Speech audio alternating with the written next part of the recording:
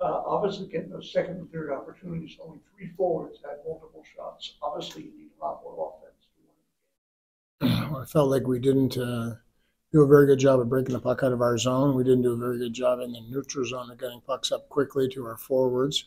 Our forwards didn't do a great job of getting back quickly for our D, and uh, that set up for uh, lack of offense overall. General, with, uh, one thing I'm sure you would like to have, uh, a consistent, face-off. When you needed a face-off to be able to control and be in, in their zone, just you.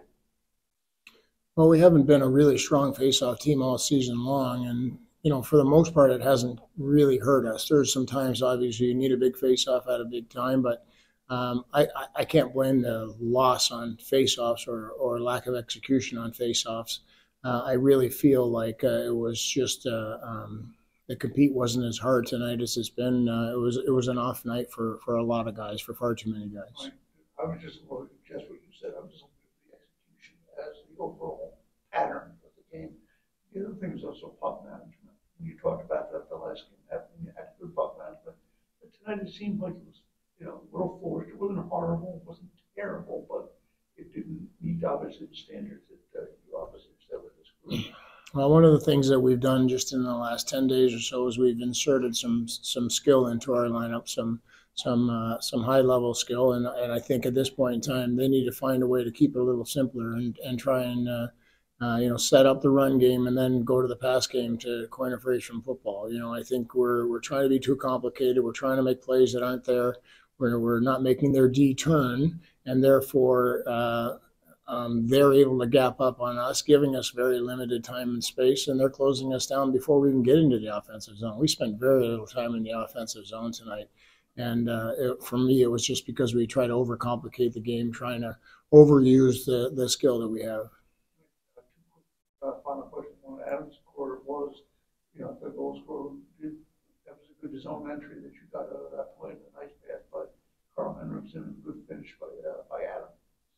Well, it was. It was. It was. It's nice to see Adam score. He's, he deserves it. Uh, he went through a little bit of a streak there where he looked a little tired. He's a 19 year old boy in a, in a man's game, and uh, um, he's he's had a heck of a year. He's really come a long way, but he looked tired for a couple weeks there, and now I feel like he's uh, he's found his game again. He's really skating. He's competing. He's finishing checks, and to see him end up ending up with a goal is is always fun to watch.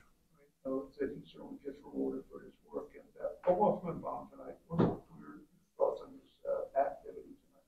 I thought he tracked the puck pretty well overall. I thought he was. I thought he was solid. We certainly can't blame that loss on him. He uh, he made saves when they were need uh, when they were needed, and uh, you know he's a little less active around the net. We would have to get used to that a little bit. You know, where we have a couple goaltenders that are very active around our net and moving pucks, or do do uh, had maybe a little different patterns going back into our zone. But uh, overall, I liked him, and uh, I, I felt he gave us a chance to win.